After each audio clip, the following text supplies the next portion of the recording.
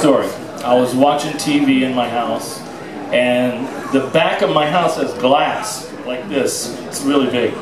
And there's a lot, I don't know what the word you use here in Sweden is deer, like antelope, you know? Like Duke. Duke? Okay. well, tell her. Or see the guy that was trying to teach me Swedish.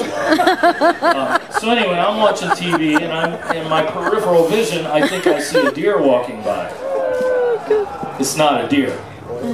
I looked over, and about from here to the corner over there is a full-grown adult mountain lion. So I went outside. I wanted to see how he was going to react. I wanted to see if he was going to be aggressive or not. And we stared at each other for about 60 seconds, and he was magnificent looking. I mean, his skin fit real tight. You could see all his muscles and everything.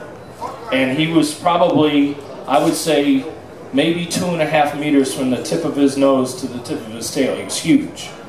And he just looked at me with that look in his eye. And he was all business. And finally, he realized that I wasn't aggressive.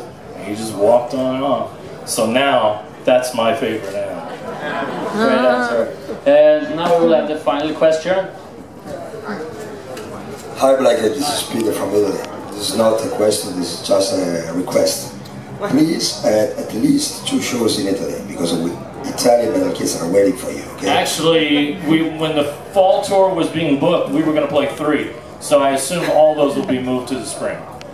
All right, uh, we will have a final real uh, question. You would end WASP today and look back, what would you think is your greatest accomplishment that you're most proud of?